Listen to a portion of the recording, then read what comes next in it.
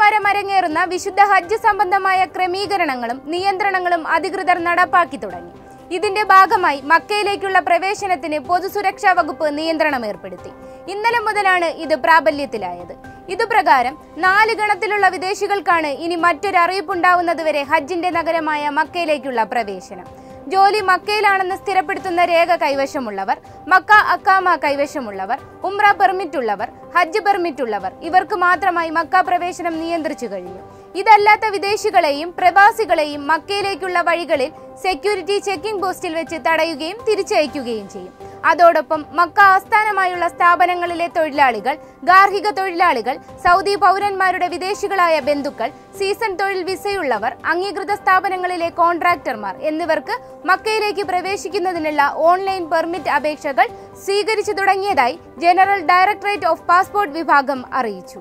അതോടൊപ്പം വിസിറ്റിംഗ് വിസയിലെത്തിയവർക്ക് ഹജ്ജ് നിർവഹിക്കാനുള്ള അനുമതിയില്ലെന്ന് സൗദി ഹജ്ജ് ഉംറ മന്ത്രാലയം വ്യക്തമാക്കി. ഉംറ സിയാറത്ത് വിസ കാലാവധി തൊണ്ണൂറ് ദിവസമാണ്.